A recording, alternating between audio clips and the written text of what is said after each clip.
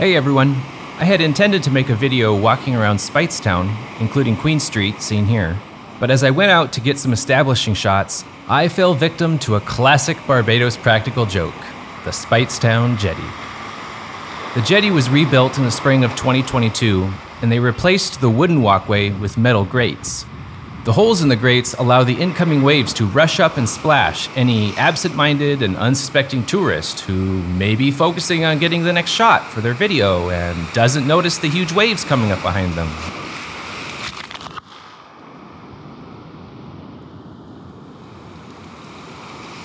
Fortunately, big waves like that are rare, and I didn't have to worry about getting splashed a second. What few parts of me that were still dry after the first wave were thoroughly soaked after the second one. In fact, the sound recorder I've been using for my videos over the last two years got so wet it stopped working. It's permanently broken. The timing of it breaking isn't terrible. My time here in Barbados is coming to an end shortly. In January, I will have completed my second year in Barbados as part of the Welcome Stamp remote work visa, and it will be time for me to move on to my next adventure in life.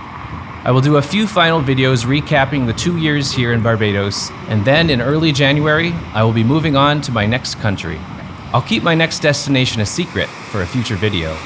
Until then, stay alert when on the Speightstown jetty, and I'll see you in the next video.